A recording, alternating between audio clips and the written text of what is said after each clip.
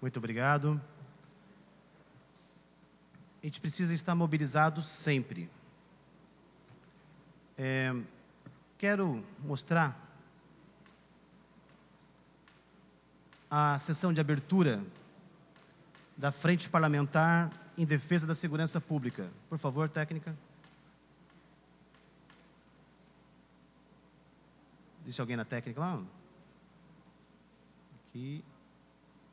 Major Olímpio, coordenador, idealizador da Frente Parlamentar.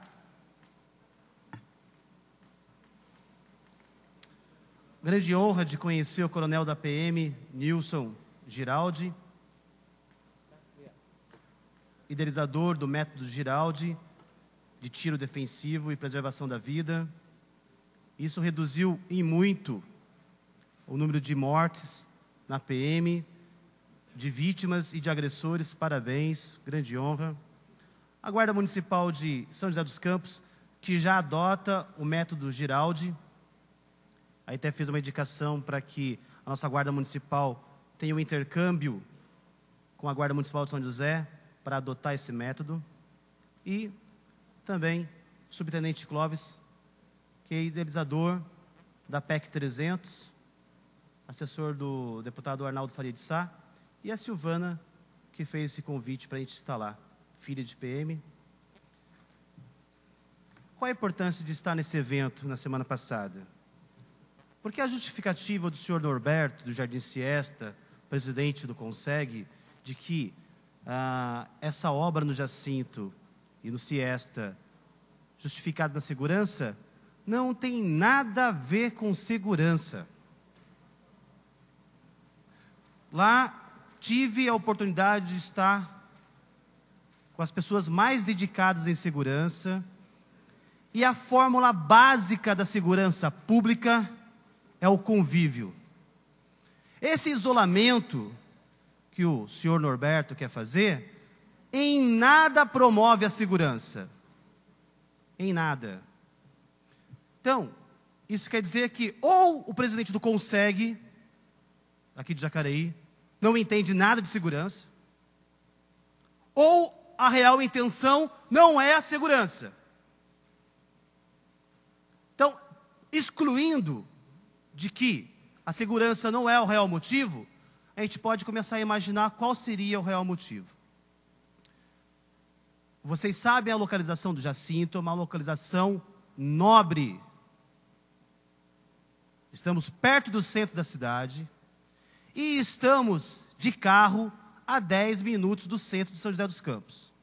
A vida do jacariense, por incompetência da administração municipal, é em São José. Trabalha em São José, estuda em São José, tem o lazer em São José, faz compra em São José. Então, é muito interessante para alguém morar no Jacinto e ter a cidade como São José a 10 minutos de carro. O que está acontecendo?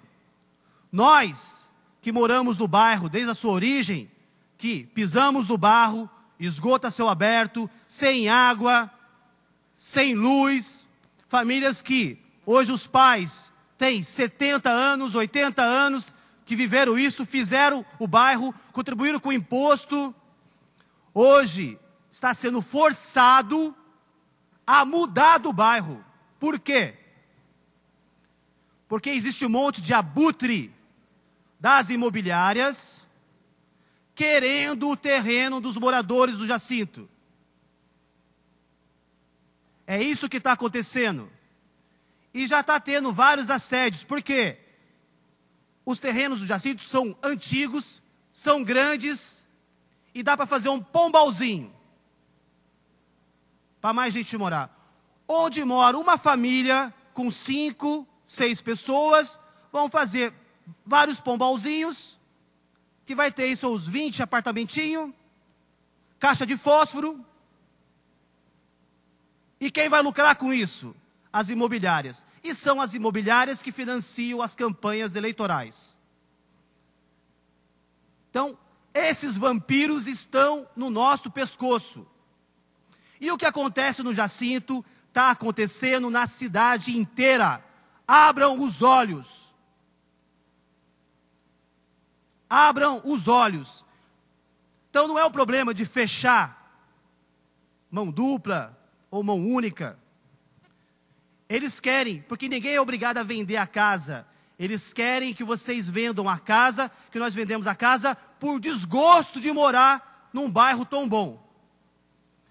É por isso que abriram a Otaviano Câmara para a água do panorama invadir nossas casas. Para a gente pegar a nossa mudança e ir para outro lugar. Que outro lugar? Uma caixa de fósforo que a imobiliária está oferecendo. A gente já tem a vida feita, um patrimônio consolidado, depois a gente vai ter que ficar enforcado com dívida por causa desses parasitas. É isso que está acontecendo. Prestem atenção, moradores dos jacintos, meus vizinhos. E isso é com a cidade inteira. Jardim Guarani é a mesma coisa, Jardim Itamaraty é a mesma coisa. A área que está sendo valorizada agora, por causa de uma pracinha que se chama Parque da Cidade. Existe uma união entre a administração municipal e esses empreendedores. Isso é muito claro. Isso é política. E é nesse nível que a gente tem que discutir as coisas. E querem colocar cidadãos contra cidadãos. No Siesta, tudo bem. Tem morador que concorda, tem morador que não concorda. Mas o maior responsável por isso é a prefeitura municipal, porque é ela que permite, ela que tem poder para permitir colocar uma placa lá para criar desgosto para o morador de Jacinto. Porque o morador do Ciesta vai passar pela Gaspar Dutra, vai passar pela Auro de Morandrade para pegar a Padrogênio, para ir para onde? Para São José dos Campos. Aí o Siesta vira um condomínio de alto padrão. Vai virar um condomínio de alto padrão e vão lucrar com isso.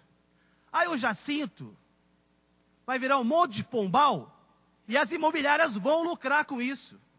Isso não está certo. Não está certo porque moradores que estão lá desde o início, que viveu no barro, que viveu sem água, que viveu sem luz, hoje com 70, 80 anos, que merece conforto porque lutou para isso, não pode ter, porque os abutres das imobiliárias estão querendo o nosso sangue. E nenhum prefeito é eleito sem esses financiadores de campanha. E nenhum outro partido lança candidato capaz de vencer quem eles já escolheram para estar lá. É isso que está acontecendo. Então, vamos ficar atento para esse movimento. Vamos ficar atento para esse movimento. E o que acontece no Jacinto é só um indicador do que acontece na cidade inteira. Volta a falar. Vila Guarani debaixo d'água. Itamaraty debaixo d'água. Por quê? Porque a nova avenida, Parque do Sino, bairro novo, debaixo d'água, ali era bico do boi, é brejo.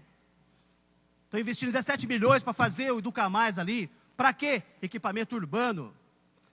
Quem está preocupado com o trânsito da cidade? Ninguém está preocupado com o trânsito. Coloca cinco supermercados na mesma esquina.